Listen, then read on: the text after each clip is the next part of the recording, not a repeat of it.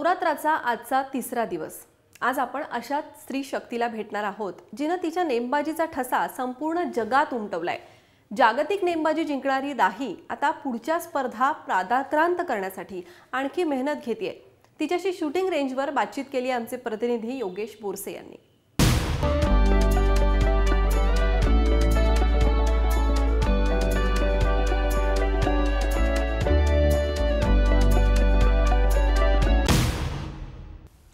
राही प्रथम तर तुझं मी मराठीत खूप खूप स्वागत.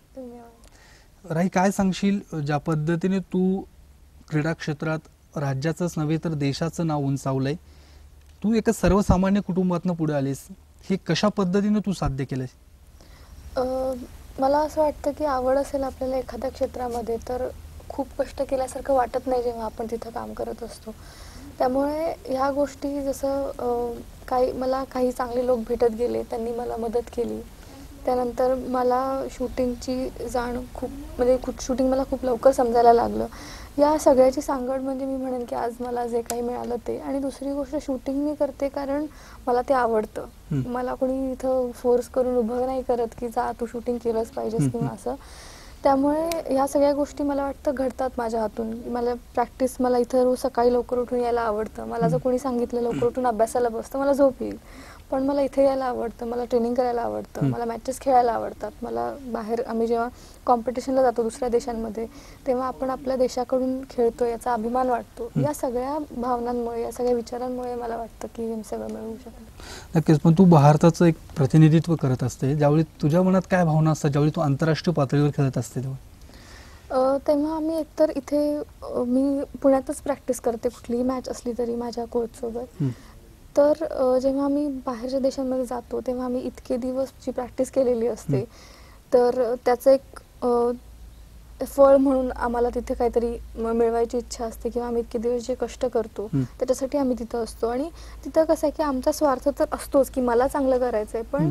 ते चांगलं केल्यानंतर आपलं राष्ट्रगीत वाजणार आहे या गोष्टीसाठी आम्ही प्रयत्न करत असतो किंवा हे मिळवल्यावरती आम्हाला शुभेच्छा मिळणार आहेत की तू आमच्या राज्याचं आमच्या जिल्ह्याचं आमच्या देशाचं नाव उंचावलंस असं लोकांना अभिमान वाटणार आहे आम्ही हे जे काही केल्यावरती आणि खेळ हे एकच असं क्षेत्र आहे मला वाटतं की जिथे तुम्ही तुमचं राष्ट्रगीत वाजवू शकता तुमच्या देशाचं तुमच्या देशाचा झेंडा उंचावू शकता. तुमचा स्वातंत्र्य दिन प्रजासत्ताक दिन नसताना.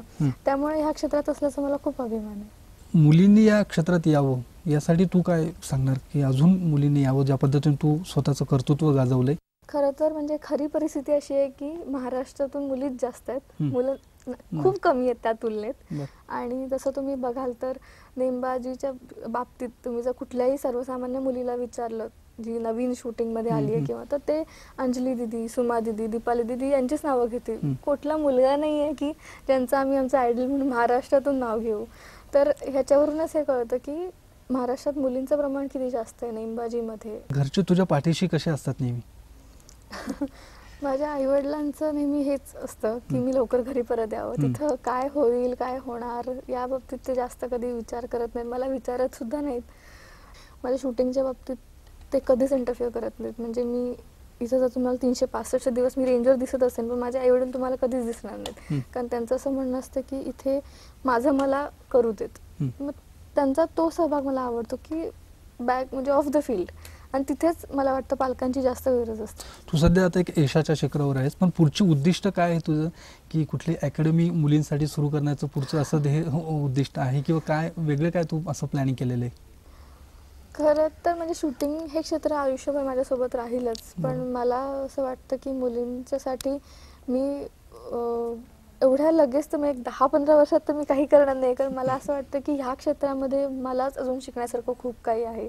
त्यामुळे आधी मी शिकून घेईन मी अनुभव घेईन. मला अजून स्वतःला खूप गोष्टी अचीव करायच्या आहेत. जसं नेक्स्ट ऑलिम्पिक गेम्स आहेत. पुढच्या वर्षीपासून आमचं सगळं सुरू होतं की Olympic selection Commonwealth Games Asian Games World Championship सगळंच आमचं सुरू होतं. तर हे सगळ्यातून जेव्हा मला असं वाटेल की आता माझ्याकडे पुरेसा अनुभव आहे कुणाला सांगण्यासाठी त्यानंतर तेव्हा मी नक्कीच विचार करेन. आणि फक्त माझ्या क्षेत्रामध्ये मी मुलींसाठी काहीतरी करेन असंही नाही. अशी अनेक क्षेत्र आहेत की जिथं मुलींना अडचणी येतात. जिथं त्यांना अनेक गोष्टींची कमतरता भासते. मग त्यांचं ते सर्वसामान्य आयुष्य असू देत नाही तर त्यांचं एक वेगळं प्रकारचं करिअर असू देत.